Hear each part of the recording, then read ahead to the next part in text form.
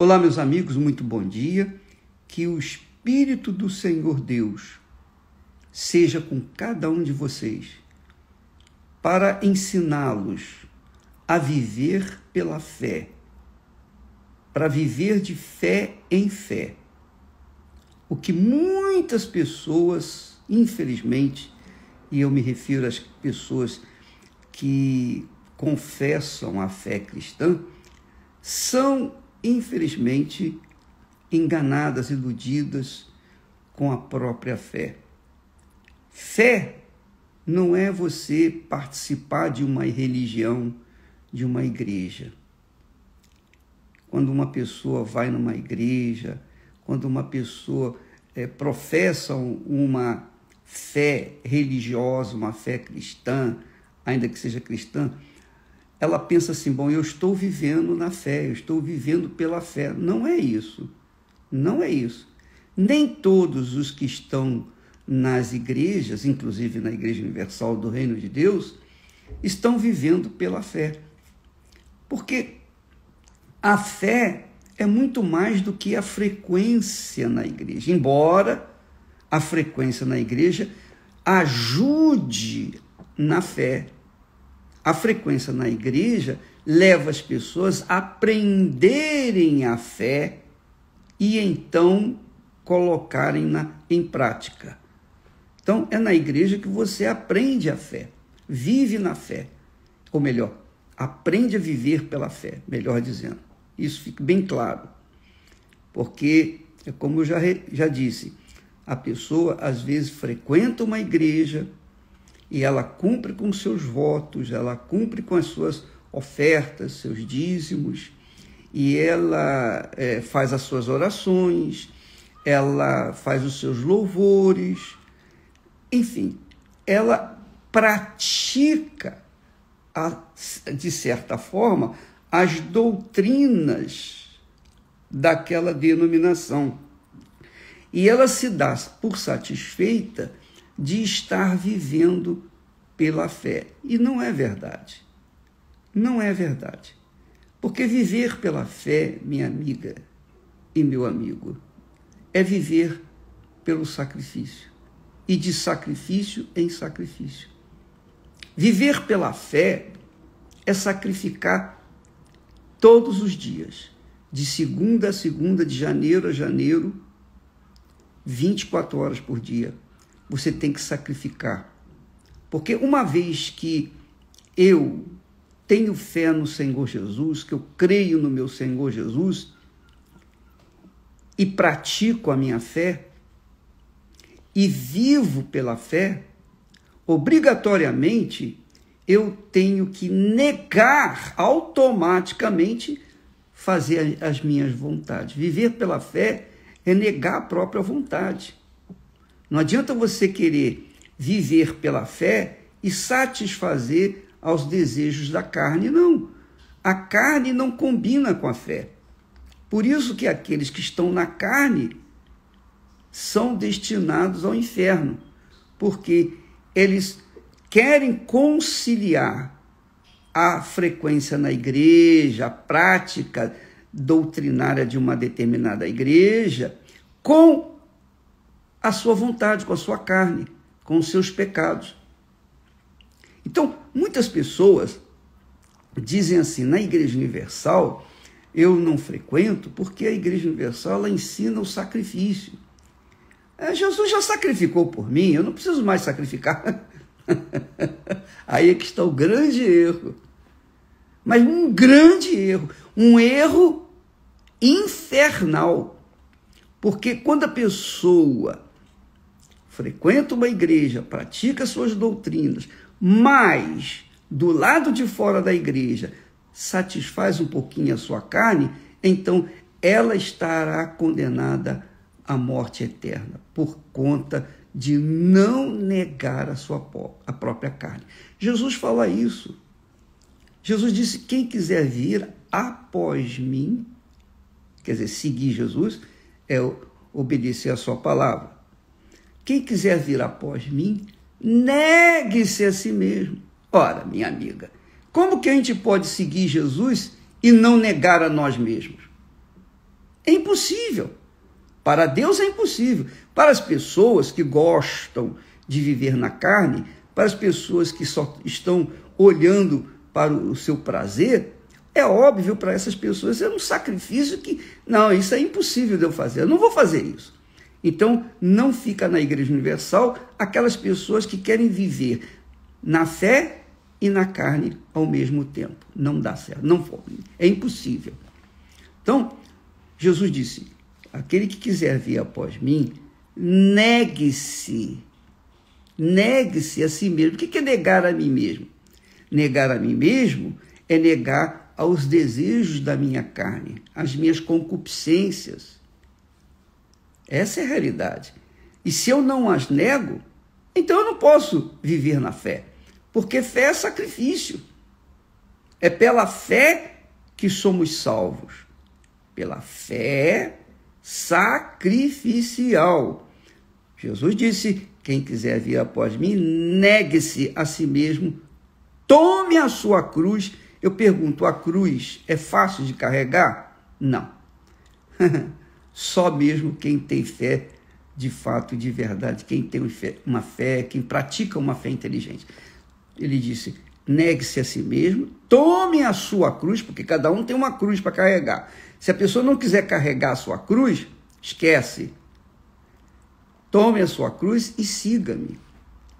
Então, três tipos de sacrifícios: negar, tomar a cruz e seguir Jesus.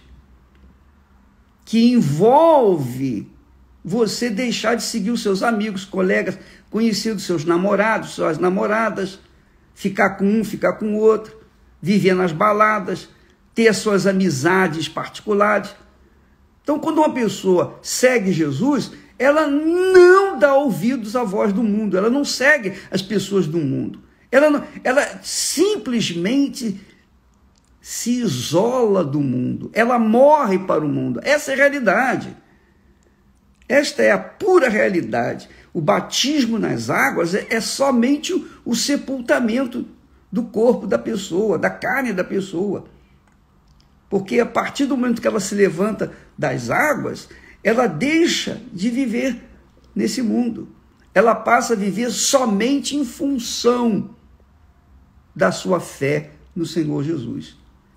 Primeiro o Senhor Jesus, depois vem a sua família e, e, e etc, etc, etc. Mas primeiríssimo lugar o Senhor Jesus. Então, ela morreu. Quando a pessoa entrega a sua vida para Jesus, ela simplesmente morre para esse mundo. Por isso que muita gente está na igreja caída, falida, fracassada. Por isso que você conhece muitos crentes destruídos, endemoniados, perturbados. O nosso, o nosso trabalho nos presídios, lá no, nos Estados Unidos, é um trabalho muito interessante porque a maioria, a, mas a grande maioria, mais de 90% dos presidiários, dos reclusos, dos presídios, nos presídios lá nos Estados Unidos, foram evangélicos. São pessoas que um dia ouviram a palavra de Deus, um dia estiveram na igreja e hoje estão nas prisões, porque cometeram crimes e outras coisas mais. Quer dizer, o fato de uma pessoa frequentar uma igreja e dizer que está vivendo na fé não é realidade. Não condiz com a verdade. Porque viver pela fé exige o sacrifício, se é que a pessoa quer realmente salvar a sua alma. Então, ela deixa amigos, conhecidos, ela deixa a vida costumeira que ela tinha, morre para ela. Ela passa a viver de acordo com a palavra de Deus.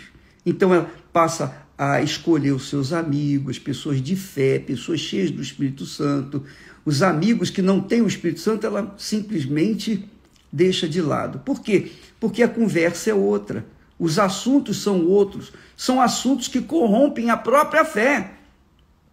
Então, minha amiga e meu amigo, eu estou falando assim, não estou querendo editar é, normas de conduta para você, ou quem quer que seja. Eu estou passando para vocês o, o, o caminho da salvação. A coisa mais difícil que existe no mundo é você ser salvo, é a, a gente ser salvo. Eu, eu falo isso com uma experiência de 50, quase 57 anos. Quase 57 anos.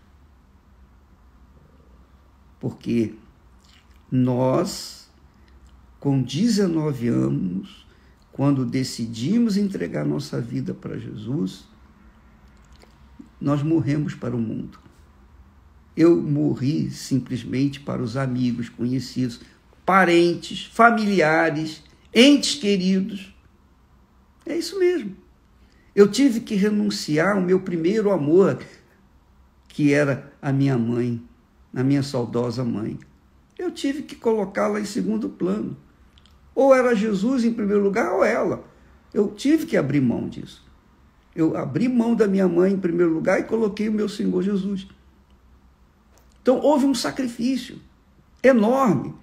E só quem faz esse tipo de sacrifício pode avaliar muito bem o que significa viver pela fé. Eu tive que abrir mão entre uma coisa e outra, entre o Senhor Jesus e a minha mãe. Mas há pessoas que não querem abrir mão do seu amante, da sua vida desregrada, dos seus pecados, das suas baladas, dos seus colegas, dos seus amigos. Se você não quer abrir mão desses amigos, então vai ser muito difícil a sua salvação. Muito. É, é difícil. A salvação é tão difícil, tão difícil, tão difícil, que Jesus disse que largo é o caminho, espaçoso é o caminho que conduz à perdição. E a porta é larga para os que se perdem, mas para os que são salvos, a porta é estreita, apertada. Então são poucos. E eu quero que você, minha amiga e meu amigo, seja também um dos poucos que vão ser salvos. É mais fácil você acertar na loteria esportiva do mundo inteiro sozinha, sozinho, do que a salvação. Tamanha é a dificuldade. Se fosse fácil a salvação, Deus haveria de dar uma haveria de facilitar a nossa caminhada com Ele. E abriria, digamos assim, cederia, tolera, toleraria algumas coisas pessoais nossas. Ele não tolera. Não há como você viver no pecado e na fé ao mesmo tempo. Por isso que muitas pessoas dizem assim: ah, lá na Igreja Universal é sacrifício, sacrifício. É sacrifício mesmo. Se você não está disposto, disposto a sacrificar sua vida para o Senhor Jesus, procura outra igreja, porque na Igreja Universal é sacrifício. Nós temos certeza, nós garantimos o seu sucesso. O sucesso na sua vida econômica, profissional, sentimental, mas você vai ter que sacrificar. Você vai ter que sacrificar. Você vai ter que sacrificar o seu eu, a sua vontade. Isso significa viver pela fé, viver de fé em fé. Então, ontem nós falamos que muitas pessoas diziam: ah, é o que está escrito mesmo. Está lá escrito que a minha graça te basta.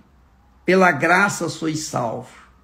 Então, os crentes mal informados, ou, é, digamos assim, propositalmente querem entender, a minha graça te basta. Então, é como se a graça de Deus permitisse viver no pecado. Como se a graça de Deus desse permissão para ela fazer a sua própria vontade.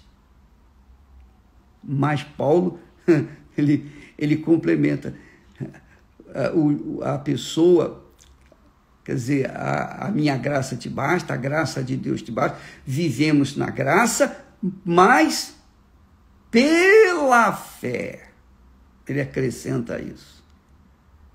O justo viverá pela fé. Quer dizer, o justo terá vida pela fé. Não fala nem no amor. Não fala nem em amor.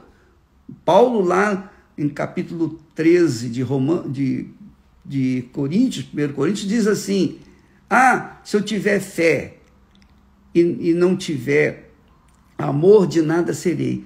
Mas, minha amiga, meu amigo, pela fé é que nós somos salvos, não é pelo amor, é pela fé.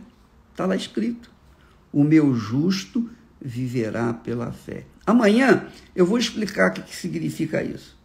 O meu justo viverá pela fé, terá vida pela fé. Que tipo de fé é essa? Como é que é essa fé? Só para você entender, só para você ter uma ideia. Você está vendo Jesus? Não. Você está sentindo Jesus? Não. Você está tocando em Jesus? Não. Mas como é que você crê que Jesus existe? Como é que você tem certeza que ele existe? Você tem certeza por conta de uma fé que o próprio Espírito Santo te deu. Então você tem essa certeza, essa convicção. Só que essa convicção, essa certeza, essa fé, ela exige um comportamento ético, um comportamento ilibado, justo, correto, porque Deus não combina a justiça dele com a injustiça desse mundo. Deus não combina a pureza dele, a perfeição dele, com os pecados desse mundo. Veja que Deus falou para Abraão, o seu amigo. Ele disse: anda na minha presença e ser perfeito. Anda na minha presença e ser perfeito. Mas como que eu posso ser perfeito? Se andares na minha presença, na minha presença, sereis perfeito. Jesus fala a mesma coisa quando diz: quem quiser me seguir, quem quiser vir após mim, negue-se a si mesmo. Tome a sua cruz, sacrifício pela segunda vez e siga-me. Sacrifício pela terceira vez. Como é que você pode seguir Jesus e o amante ao mesmo tempo? Como é que você pode seguir Jesus e o pecado ao mesmo tempo? Como é que a gente pode seguir Jesus e viver na carne ao mesmo tempo? Será que Jesus para, espera você ir fazer, dar as suas voltinhas para depois então continuar seguindo, você seguindo com ele? Não, não dá, minha amiga. Coloca um pouquinho só a cabeça para pensar. Só um pouquinho. Só um pouquinho. Não usa coração, não. Só um pouquinho. Usa sua inteligência. Como que uma pessoa pode viver pela fé e na carne? Na sua vontade, nas suas concupiscências. Como? Não tem como. É impossível o meu justo viverá pela fé, disse o Senhor Deus. Se retroceder, nele não se compraz, não tem prazer a minha alma, diz o Senhor dos Exércitos. Deus abençoe vocês, em nome de Jesus, e que isso venha servir para você nortear a sua vida até a terra prometida que ele tanto almeja e espera por nós. Até lá. Deus abençoe.